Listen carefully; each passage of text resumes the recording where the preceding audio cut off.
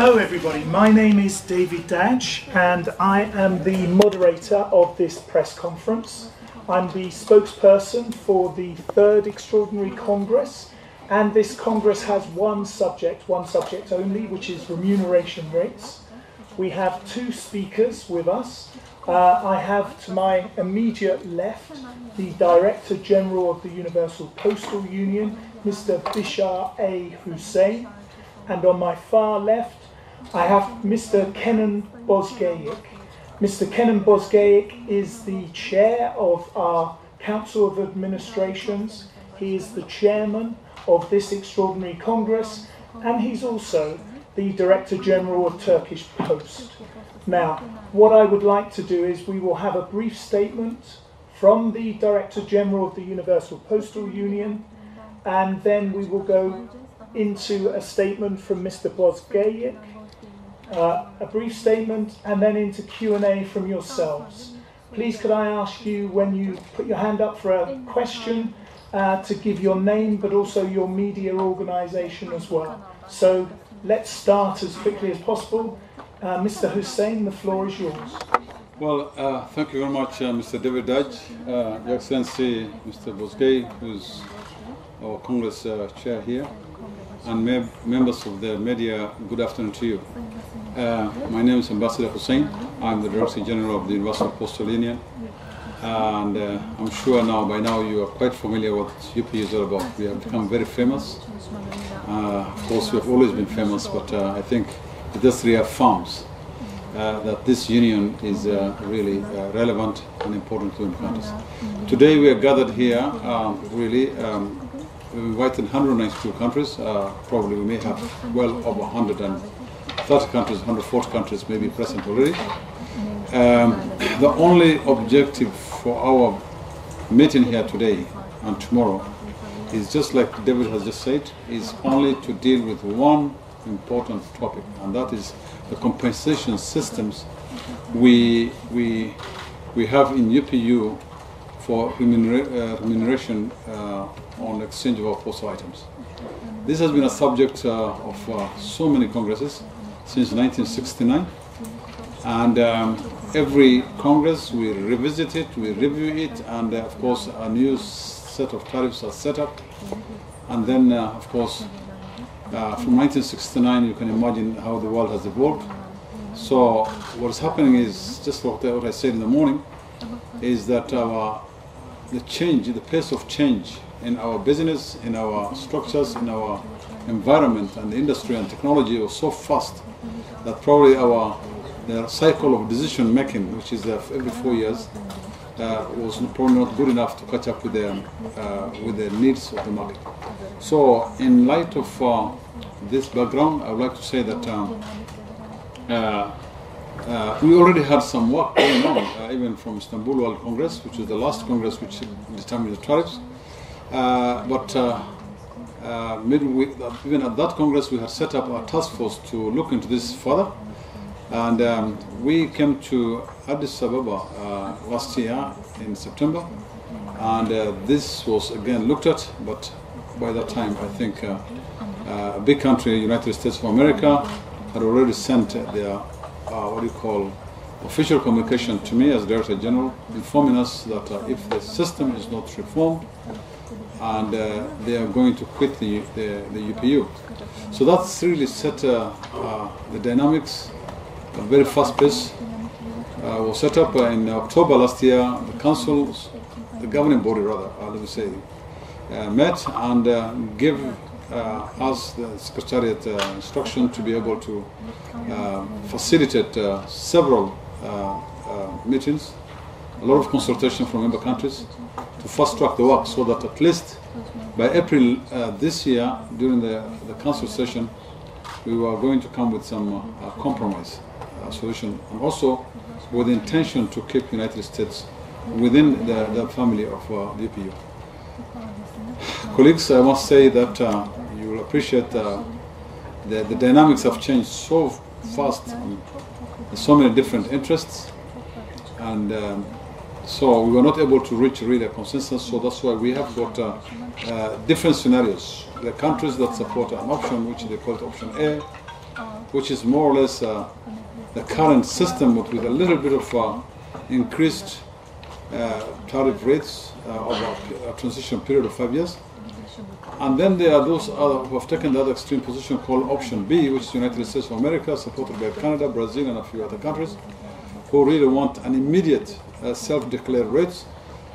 And of course, uh, when you realize the two extremes, uh, a number of other countries, uh, Japan, France, and, and, and Germany, and a few other European countries, supported by other co- countries from other regions, came up with what is called um, uh, an option C, which is more or less a midway between uh, the two extremes.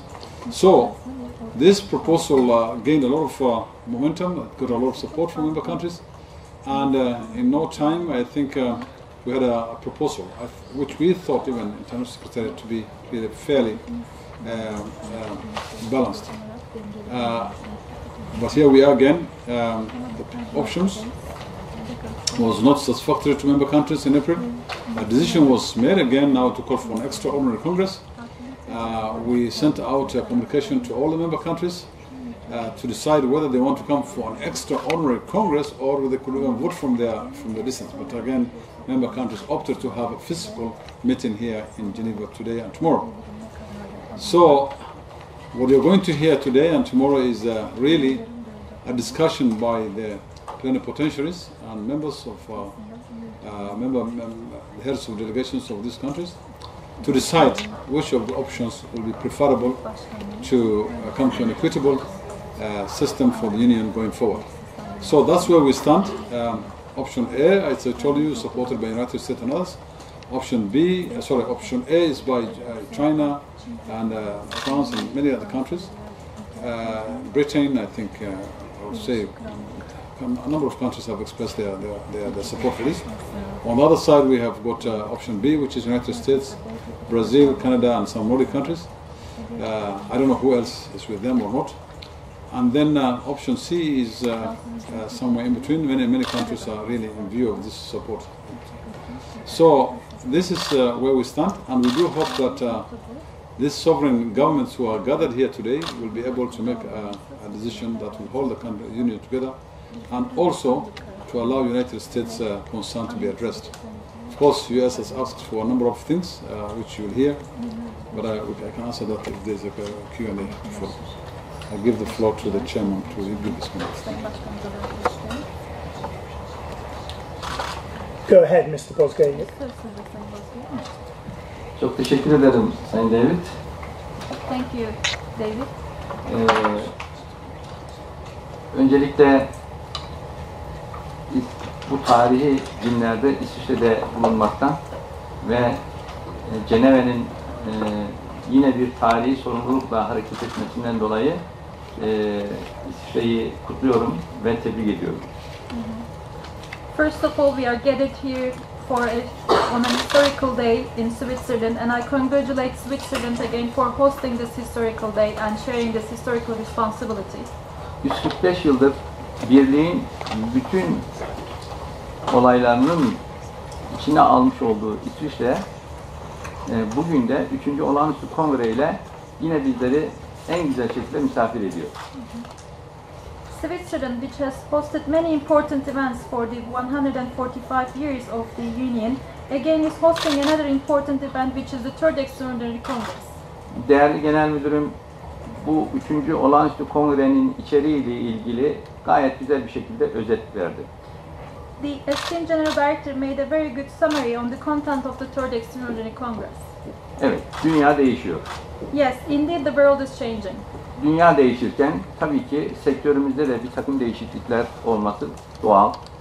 Of course, it is natural that as the world is changing, we might also feel the need to change certain things in our sector and in our industry. Biz de onun için buradayız. And this is why we gathered here, actually. Ama bu değişimin birliğimizin geleceğini ışık tutması için uzlaşılı bir yol bulunması için gayret ediyoruz.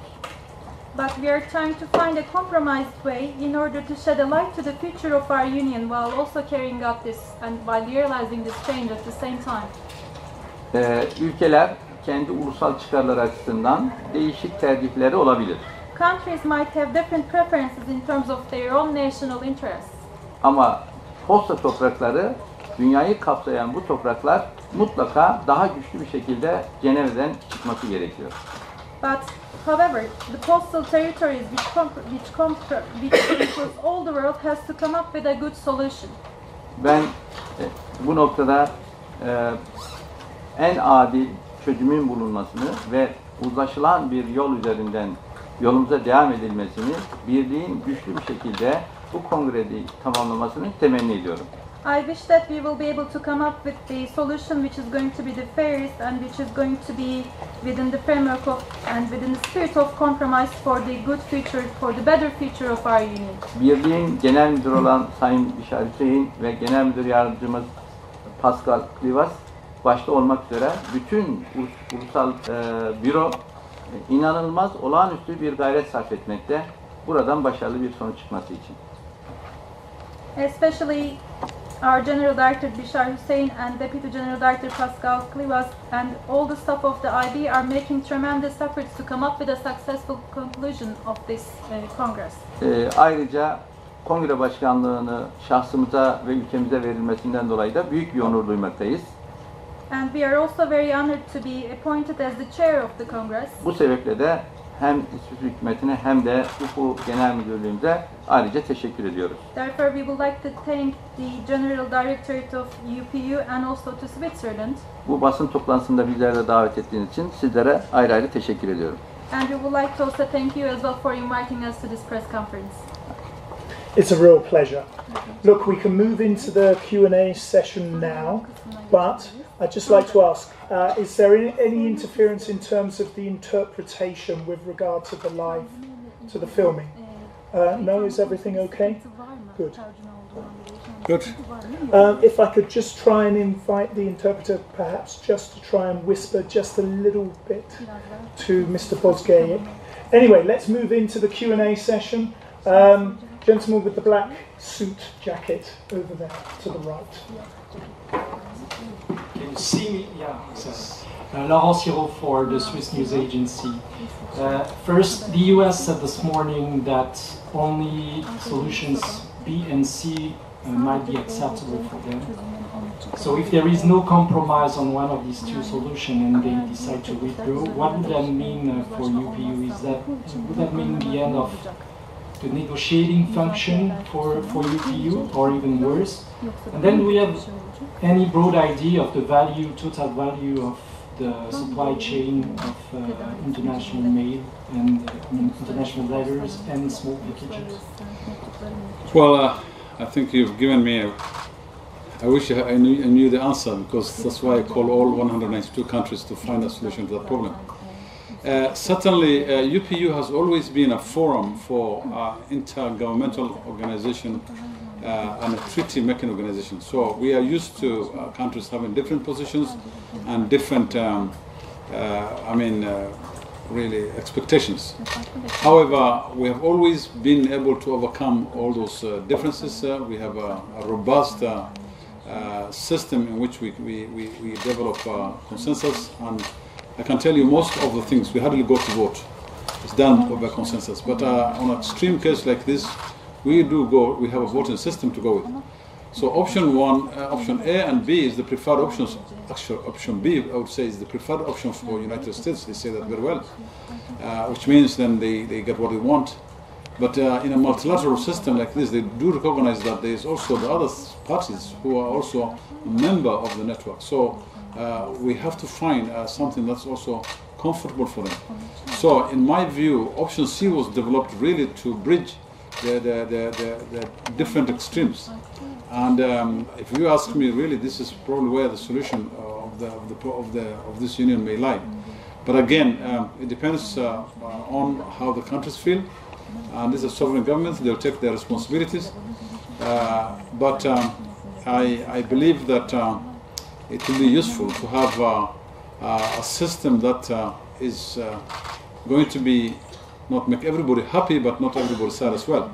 So everybody has to gain something and do something. So I, w- I am trying to appeal to member countries to have uh, a, a position that is going to be uh, really negotiated and uh, acceptable to, to a certain extent to everyone. Yes, please. Uh, just sorry, just to go back, and the value of the market, sir, measured in billions, would you say? Well, I really I don't have that statistics. It's, uh, it's really it's more technical area for me, but uh, I can tell you, uh, we uh, probably I don't know, uh, Mr. Mr. Dadge may, may be able to answer that, but we can provide that information a little later. I'll come back to you. Uh, in the front row, gentleman with the white shirt behind the camera. Hi, I'm Jamie from Associated Press. Um, I just wanted to know if you could tell us um, what will happen to the international postal system if the United States does pull out. What will the impact be? And, and just a second question, if I could, about the impact on consumers generally. If terminal rates do go up in some for these types of packages, what exactly going to? Absolutely, the two questions are very valid. I can tell you uh, the departure of any country, first of all, is not desirable for us because no country has ever left the Union since uh, 1874, 75, when it was created. This is the first time we haven't this situation. However, if you ask the question, what is the uh, what, what does it mean if US departs from the Union? Union US is a very major player of the Union. They, they are, they, I mean, the economy is very big, and many countries have a huge uh, traffic, uh, postal and packets uh, traffic with the United States. So a departure of United States from the Union would mean then it's a total disruption of the service of that country. Because the moment a country uh, uh, leaves the treaty, what happens is that that country does not exist for us in our in our in our in our, in our global postal territory. So what that means is that um, nothing really we cannot exchange any mail or packets or parcel with USPS, which is United States Postal Services, uh, officially in the in the form and and uh, and, uh, and the shape we know it today.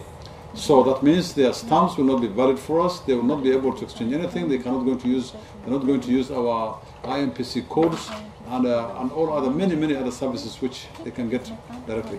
One uh, thing I want you to recognize is that um, this is a treaty-based organization, and uh, the advantage is that uh, with one signature, when you access the union, you are a member, you have access to 192 countries automatically. And what this means is that if the US have to leave the union, it means it has to go and negotiate 192 different bilateral agreements with 192 countries, and you have to have 192 custom authorities. You have to do uh, many other issues that really have to be done bilaterally. Uh, this international security customs, uh, IATAs and ICAOs, we have treaties with all these organizations, which really affect the, I mean, uh, impact on on the logistics, uh, global uh, supply chain system. So departing from this means all the systems and procedures and the standards we have developed will not be accessible to United States of America. It's really a nightmare scenario for that. On the other side, the flip side is that all the other countries will not be able to exchange mail with, with the United States, and therefore they will have challenges on how to send their mail to that country. It cannot be called mail anymore. If any bilateral arrangement uh, arises, then we consider that only as a commercial cargo, and uh, that, of course, there are other ways uh, private companies will do that. So probably that's the, the route they will go. And as for the impact on consumers, when the, The impact, okay, impact on the consumers uh, again in both ways. It means uh, money. For example, um, the big net exporters like China and many other countries, um, the moment you hike the prices, because you see, what, let me come back to this. In 2016, we developed uh, a, a treaty-based rates in Istanbul, which was supposed to run up to 2020. So what those countries told me told us is that they go back to their customers and negotiate uh, discounts and prices and everything with that in mind, with that uh, with that, with that rates in mind. Now, if you come in the middle of the cycle and say you have hiked it on the other side, so they have a big challenge and uh, they, they have a problem with their customers, and that would mean then that uh, they're saying that uh, uh, they may not be able to use the, the, the postal system again.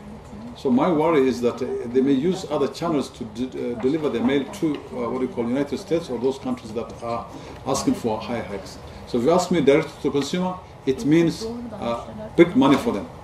For example, if someone in the United States was ordering something from China, for example, and he was getting it at uh, two dollars, and the next day the whole thing is now going to seven to ten dollars for delivery, of course, uh, I mean, the, the consumers and the customers will be able to uh, deal with that uh, in, in like every other will.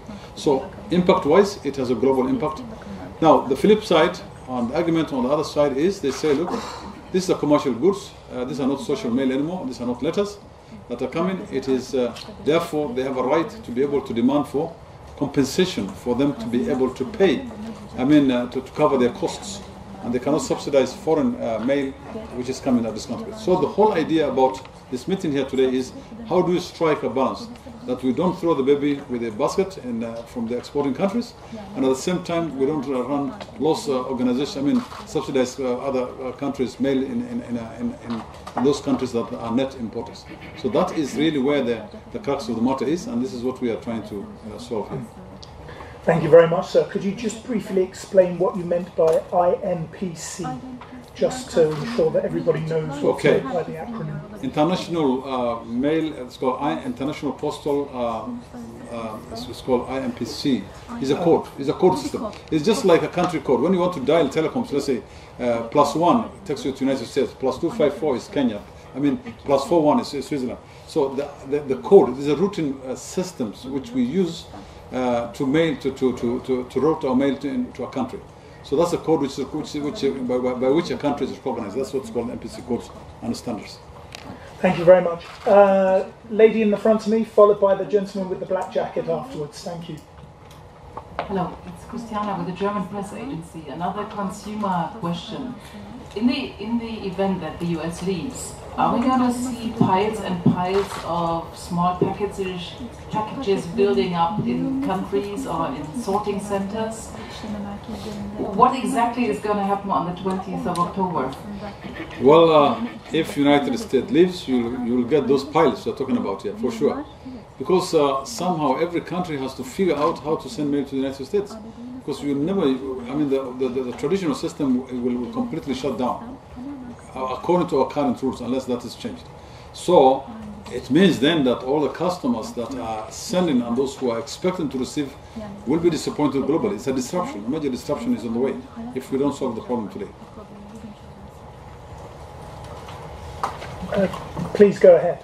Hi, I'm Ben Simon from AFP. Um, sir, you're a public servant from a developing country, and I assume you interact with a lot of other public servants from developing countries. Do you think it's appropriate that China still retains that title as a developing nation, given the size and heft of its, of its economy? Well, I think that is outside my, my purview. I don't uh, determine where, what, what is the level of development of any country. There, I think there are other bodies like United Nations which, uh, which classify that. Probably they can answer better than I can do that, sir. With due respect. I, I don't. Thank you. Any further questions? Uh, in the front row, gentleman with the white jacket. Yes, good afternoon. John Zarocostas from Penske Media Corporation in the US. I was wondering, so you elaborated uh, the differential between exporters and net importers. Can you give us an example for our lay readers what it means in a big country exporter like China export exporting to the US? What for a two kilogram package would be the subsidy equivalent given by the US Postal Service in a transaction like that? Just hypothetical. Well, I, what we mean by net exporter is, uh, is a country that uh, uh, exports uh, a lot of uh, these small packets out of their territory, uh, outbound, outbound mail. It's called net exporter. A net importer is those countries that receive tho- those mails, which means that the outbound is uh, is is uh, less than the inbound. So if you have more mail going out uh, of your country than you receive, you're an exporter. But if you, so I hope you understand that. So the question is, uh, please uh, remind me your second question. You said.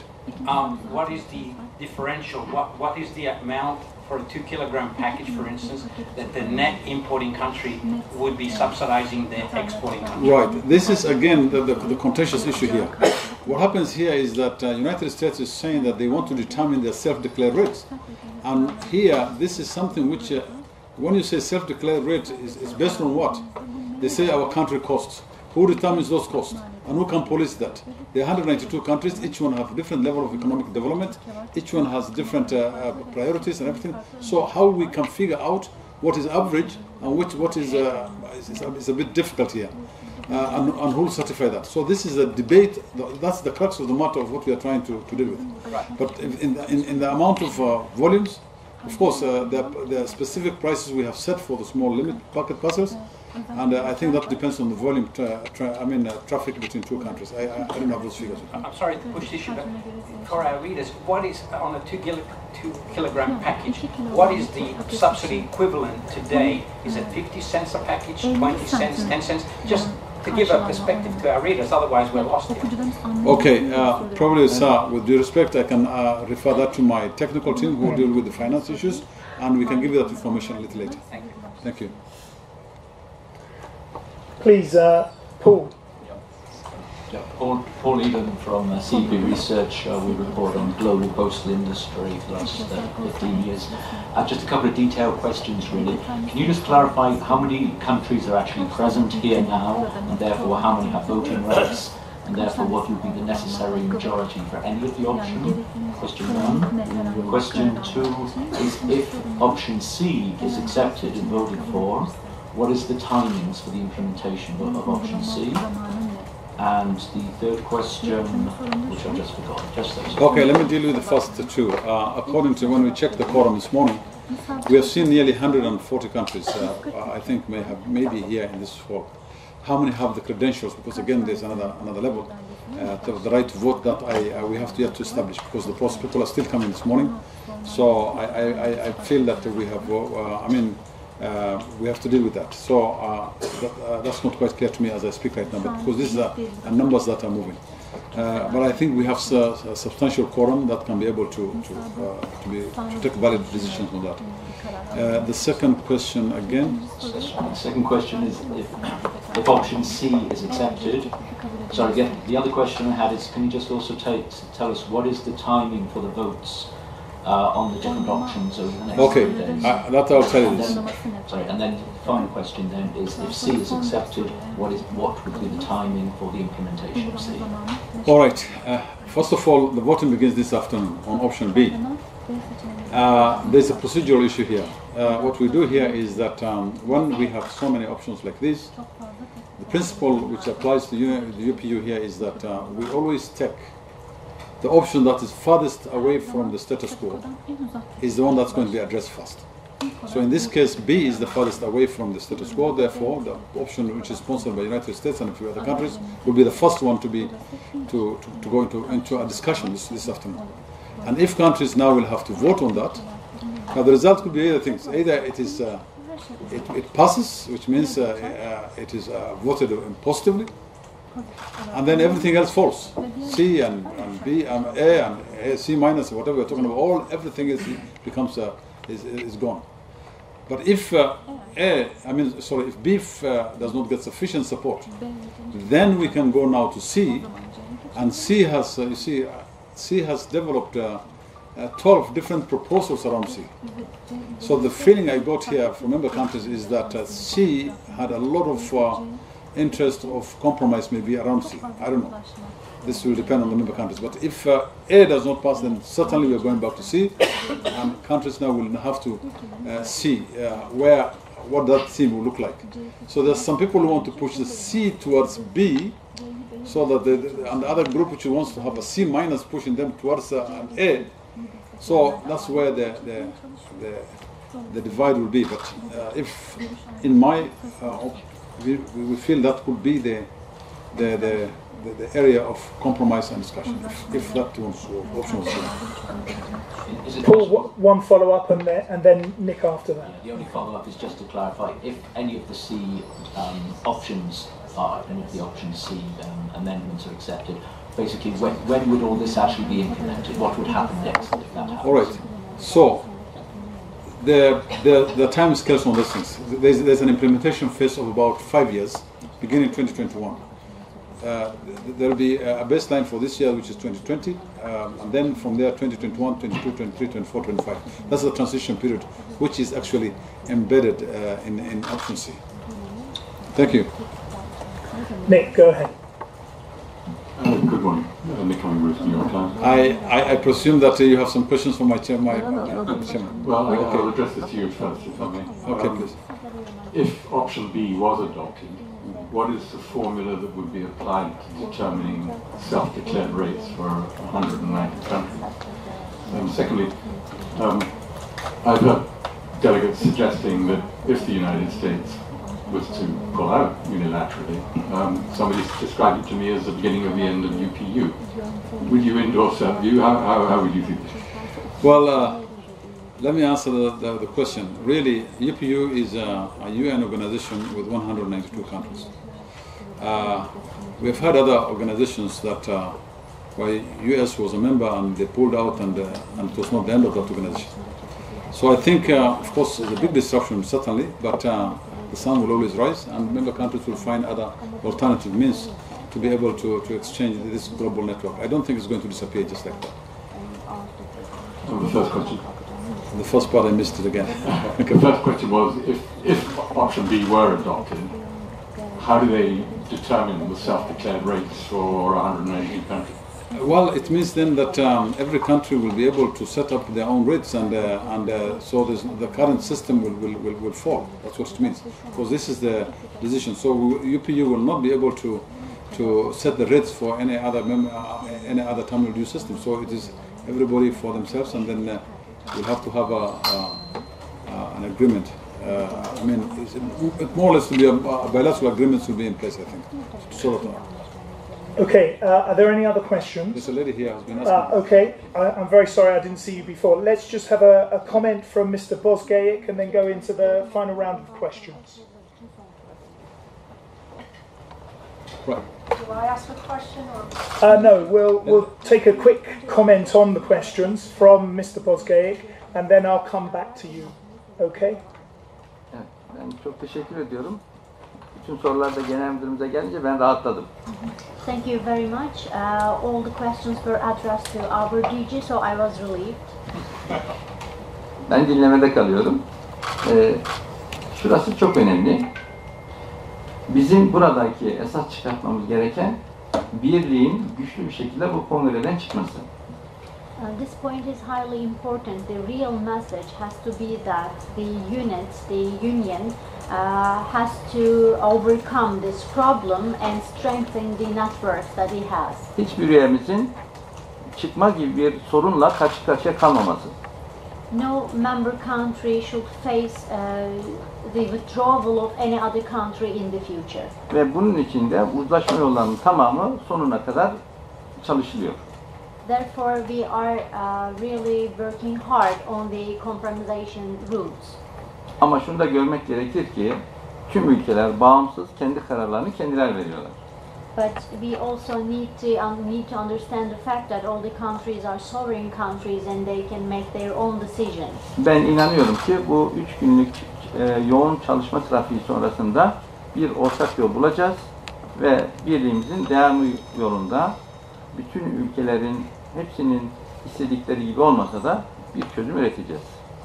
And I believe that during this three-day working period, uh, we will try to find a common ground to make all the countries happy, and we will also provide our union to be kept as a whole. Ee, dünyadaki rekabet e, tüm ülkeleri kendileri yönünde farklı kararlar almaya zorluyor. And there is a very intensive uh, competition all around the world which forces every member country to make their own decisions in various manners. Sizlerin sorusunda da vardı. Buradaki en önemli meselelerden birisi bu maliyetleri artıracak ve nihai tüketiciye yansıyacak. And uh, you also asked the question about this issue. Uh, this overall uh, general status will increase the cost and it will have a negative impact on the customers. Bu sektör olarak bizim arzu ettiğimiz bir şey değil. And this is not something that we desire as the sector. Dolayısıyla maliyetlerin yükselmesinin önüne geçecek tedbirler almamız gerekiyor. And therefore we need to take immediate actions in order to prevent a high cost.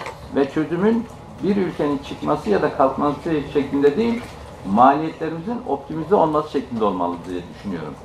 And the solution is not the withdrawal of any country or keeping all the countries all together. We need to focus on maximization and opt sorry optimization of the costs for all countries. Yaklaşımımız bu olursa çözümümüz daha doğru olacağı kanaatindeyim. And I do believe that if optimization uh, is our solution, uh, is our approach, then the solution will come faster. Aksi takdirde maliyetlerin yükselmesi nedeniyle bütün dünyadaki yaşayan insanlar bizim sektörden uzaklaşacaklar.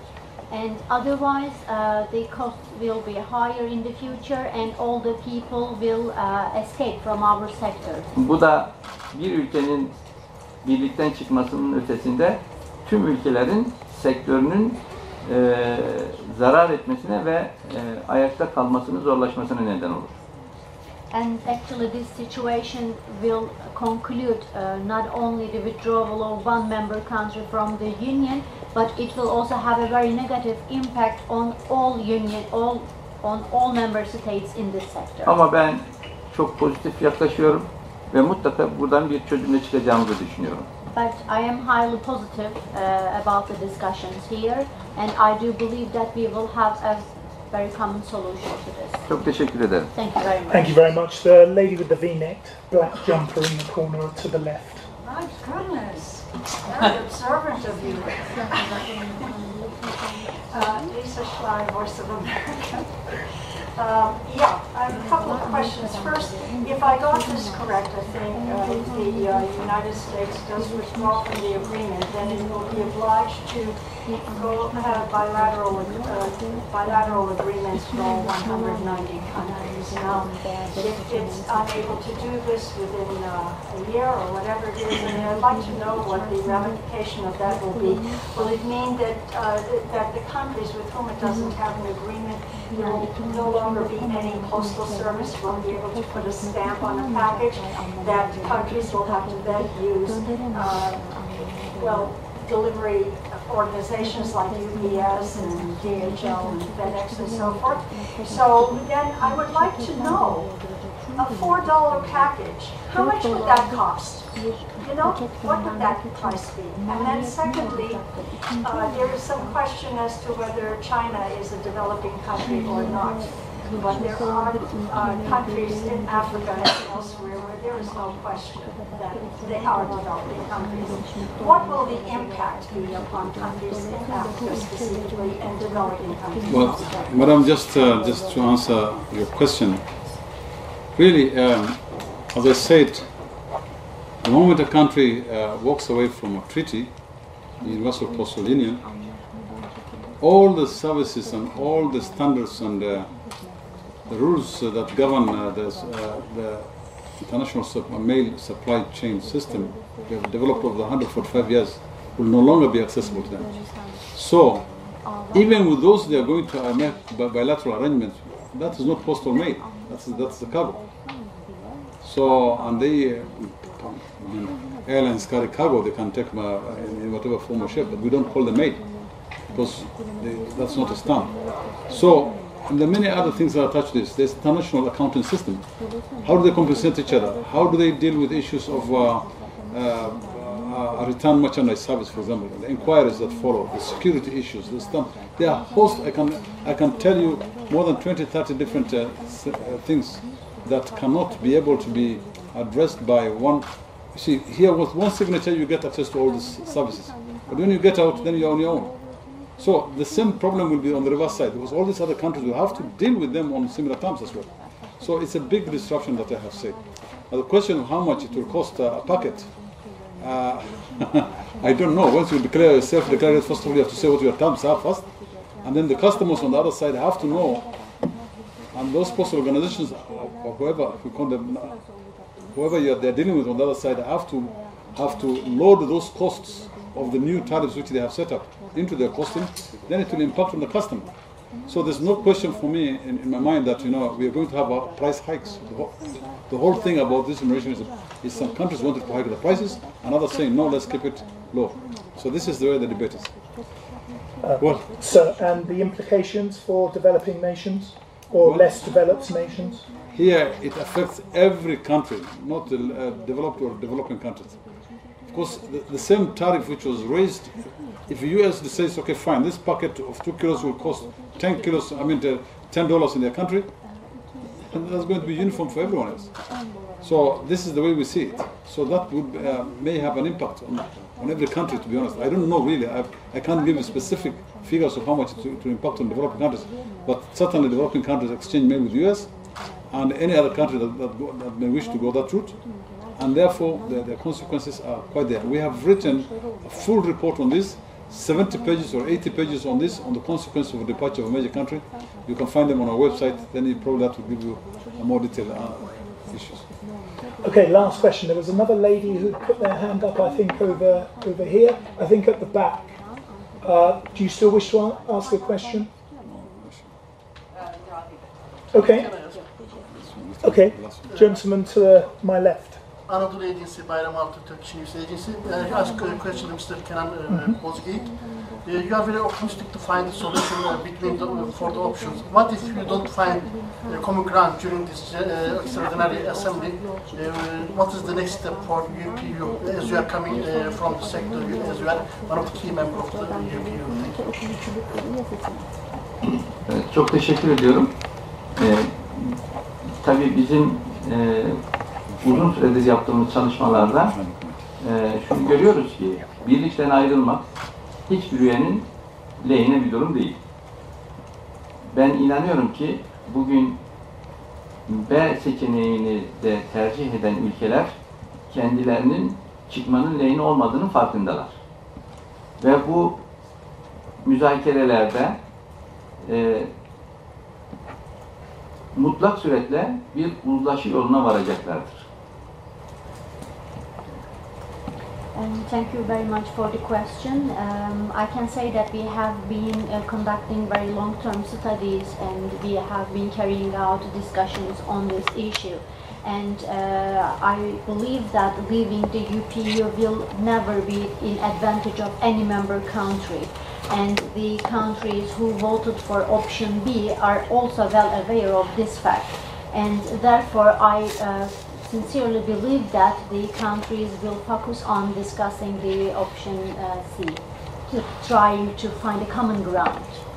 Ve bu B seçeneğindeki e, büyük olumsuzluk e, birlik üyelerinin önemli bir kısmını olumsuz bir şekilde etkilemekte. And this uh, big negativity about the option B will also have a big negative impact on majority of the member countries. Ve dolayısıyla birlik üyelerinin bu konuda e, pozitif yaklaşmayacaklarını görüyorum. And I do, uh, I can see that the m- UPU members will not show a positive approach towards the option B. Ancak üyelerimizin şu konuda da iyimser olduklarını görüyorum. Ee, kendi düşüncelerinin ötesinde fedakarlık yaparaktan bir orta yol bulmak için çaba sarf ettiklerini de görüyorum. But uh, I think that our members are really optimistic and majority of the members are uh, paying efforts in order to compromise. Dolayısıyla bu anlamda mutlak surette bir orta yolun herkesin lehine olduğunu düşünüyorum. Therefore, at this stage, I do believe that finding a common ground and a joint solution Ve- will be in advantage of all member countries. Ve hiçbir üyenin birlikten ayrılmasının kendi lehine ol- olmadığını gördüğünü görüyorum. And I do also uh, see that every member country realizes the fact that leaving, withdrawing from the union will never be in their advantage. Evet. Çok teşekkür ederim. Thank you very much. Well, uh, Mr. David. Go ahead, sir. Okay, um, let me just say something here, please, um, so that I am not misread or I'm misquoted. I am very optimistic we are going to find a solution here. Countries can come with different positions, but um, we have a track record of solving things. We have survived two world wars, and the Universal Postal Union has always uh, really reinvented itself the history will bear us out that you know every single technology, when they arrived on the scene, people thought the post office will disappear. When the aviation came and, and the railways came and the, the, the motor vehicles came and the, and we moved from the horses and, and the, I mean that was the change of technology. When the internet came, we came with new services. When the, the telegraph and everything came, so everybody, every age, has, has we had had our own challenges. This is a, a new age. We have been having serious problem with the substitution, electronic substitution for our normal social mail, the letter, the, the letter mail. It's been dec- declining for a couple of years now. And understandably, people are using now new technologies. But technology has always been an enabler for us to provide a better service and faster services. And that's why today we have entered into, into e-commerce space we're using the latest technologies, we're using drones, we're using uh, robotic uh, and, and uh, artificial intelligence, and, and we, are, we are really in the cutting edge of, of things. That's why today the biggest growth potential for the postal network is the e-commerce and financial services, which all use the digital uh, uh, transformation that uh, all countries are going through. So we are there very current, we are there with the customers, and this problem here is just a small one, in our view, and we are going to have uh, watch this space uh, tomorrow or day after tomorrow. You'll see that you know we'll come to a conclusion and compromise. I'm not seeing really the departure of any country here, or rather a stalemate to, to, to, to, to happen in this meeting. We may have different uh, hard discussions, but eventually I'm optimistic that we're going to have a conclusion which will be able to keep the union together and no country is going to walk away and we will be positive uh, that uh, this union is going to see another 145 years coming.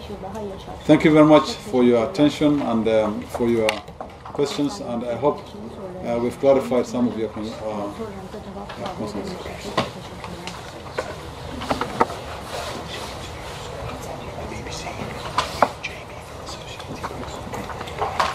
Okay, thank you very much.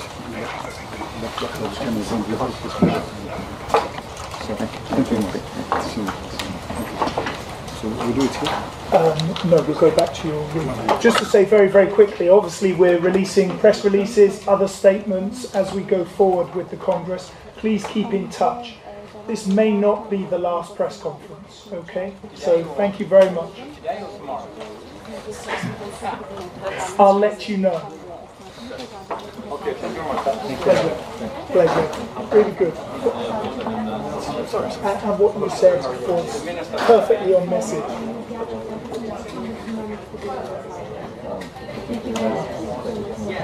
By the way, in an old job, I used to work with uh, Ruslan Dogan, Ruslan the Hurriyet newspaper, Ruslan Dogan, a long time ago.